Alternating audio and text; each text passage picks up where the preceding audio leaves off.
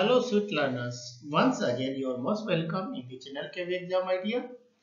We are continuing on the class 10 topic development. And this is the economics chapter. And in this video we will discuss about the key terms. And these key terms are very important to understand this chapter. Many times question will be asked in the board exam. So you uh, watch this video very carefully. It may be useful for your examination purpose. Development. Our chapter name is development. So it is very important to understand development. How we define the de development. So let's understand this is the very simple definition of development. Growth of economy along with the improvement in the quality of life of the people like health, education, etc. Here are two important aspects. First aspect is income, which is so through our economy. So growth of economy also development, but it is one part of development. The other part is the improvement of the quality of life. This is the second aspect and which things comes under this health, education, better life, sustainable development, etc.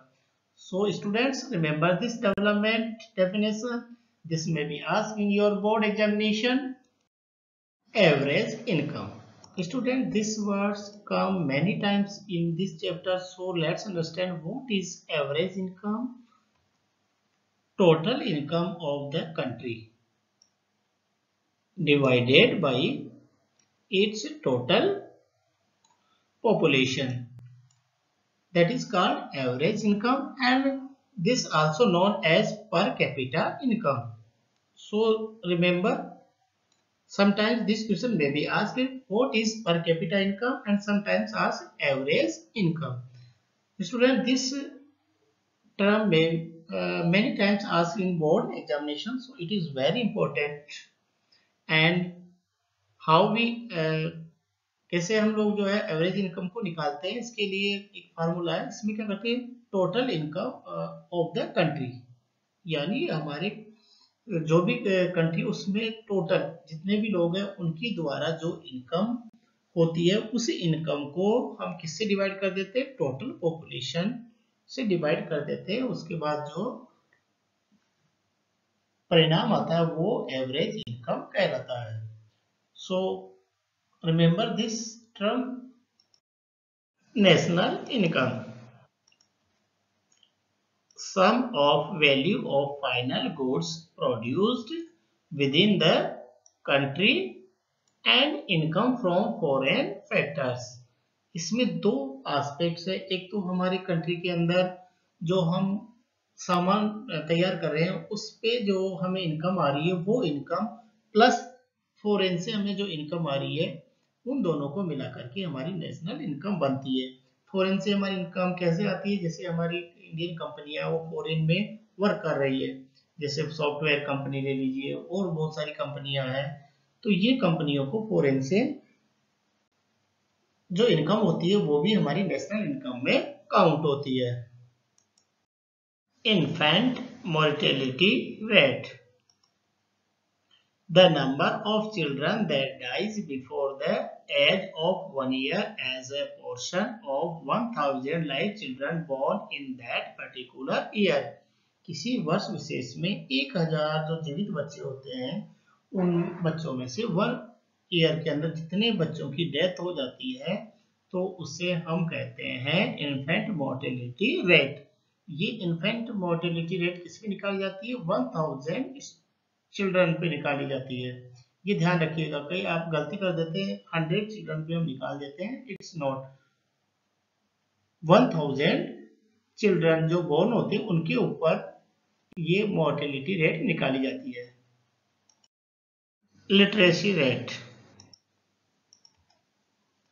It measures the proportion of literate population in the seven and above age group. he student remember this age group literacy rate में जो सात वर्ष से ज़्यादा उम्र के व्यक्ति हैं वही लिटरेसी रेट के अंदर आएँगे इससे कम आयु के बच्चों को हम लिटरेसी रेट में काउंट नहीं करते हैं कई बार ये एज पूछ ली जाती है इसलिए इस एज को अच्छे से रिमेम्बर कीजिए net attendance ratio also known as NAR NAR means and for net attendance ratio the total number of children of age group 6 to 10 attending school as a percentage of total number of children in the same age group. Net attendance ratio से क्या तात्पर्य? छह से दस वर्ष की आयु के वो बच्चे जो टोटल बच्चों में से स्कूल में एजुकेशन ले रहे हैं, वो नेट अटेंडेंस रेशियो के अंतर्गत आएँगे।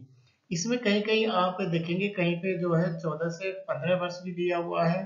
तो ये एज ग्रुप स्पेशली आपको यहाँ पे नहीं देखना, आपको ये देखना है कि पर्टिकुलर एज में कितने टोटल चिल्ड्रन है और कितने एजुकेशन ले रहे हैं तो उसके बेस पे ये हमारा नेट अटेंडेंस रेशियो निकाला जाता है।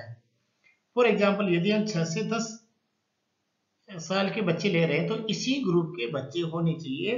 उन टोटल बच्चों में से कितने स्टूडेंट्स स्कूल में शिक्षा ग्रहण कर रहे हैं, वो परसेंटेज नेट अटेंडेंस रेशियो में आएगी।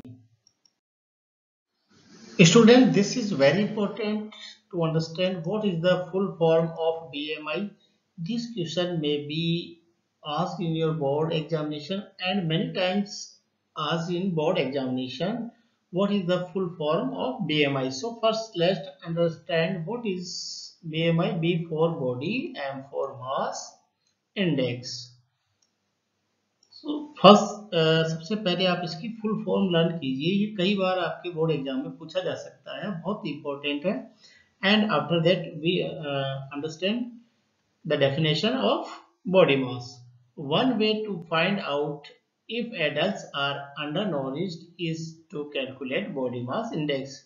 Divide the weight of a person in kilogram by the square of the height in meters. In this figure is less than 18.5 then the person would be considered undernourished. If this BMI is more than 25 then person is overweight. अर्थात जो BMI है body moss index के, इसके द्वारा हम हमारे शरीर के बारे में जानकारी प्राप्त करते हैं कि हम, हमारा वज़न कम है या नॉर्मल है या अधिक ओवरवेट है इसको लिए एक फार्मूला होता है, इसमें क्या होता है फार्मूले में जो हमारी वेट होता है, उसको वेट को किसके द्वारा? हमारा वेट केजी में होता है, लिया जाता है। और इसको हम किससे डिवाइड करते हैं? वेट को हम डिवाइड कर देते हैं हमारी हाइट से। लेकिन हाइट क्या होगी? मीटर्स में होगी और स्क्वायर में होगी। तो इस तरह हम क्या निकाल देते हैं? हमारा बॉडी मास इंडेक्स निकाल देते हैं। हाइट होगी, ये किसमें होगी? मीटर में। और हाइट को मीटर में करके हम इसे क्या करेंगे? स्क्वायर में बना देंगे। और इसके द्वारा जो परिणाम आता है, यदि वो 18.5 से बिलो होता है तो वो व्यक्ति क्या होता है? कम वज़न का होता है और उसके लिए उसे अस्वस्थ मान सकते हैं। और यदि वेट 20 जो इसका जो फिगर है, वो 25 से अधिक आता है तो वो व्यक्ति ओवर वेट में माना जाएगा। बॉडी मास इंडेक्स आपके स्वास्थ्य के लिए बहुत आवश्यक होता है। आपका भी स्कूल में इस तरह का परीक्षण होता रहता है। Sustainable development it means development without harming the environment it is the process of development that satisfies the present needs without compromising the needs of the future generation. Students, many times this question also asks in your board examination sustainable development में देखिए दो important बातें हैं। पहला तो एक तो हमारा जो एक डेवलपमेंट का प्रोसेस है, वो कंटिन्यू रहता है और वो हमारी जो नीड्स है उसको सेटिस्फाई करता रहता है। पर इसके साथ साथ हम क्या करते हैं? हम इसके जो है, हमारी जो भविष्य की जो जनरेशन है, उसके लिए भी हम इन रिसोर्स को बचा के रखते हैं। ये एक महत्वपूर्ण डेफिनेशन है। इस वीडियो में मैंने कुछ महत्वपूर्ण जो आपको टर्म्स बताइए ये बहुत ही महत्वपूर्ण है। एक एक टर्म्स बहुत महत्वपूर्ण है और इसमें कोई भी टर्म्स आपके बोर्ड एग्जामिनेशन में पूछी जा सकती है। So remember them very carefully thank you very much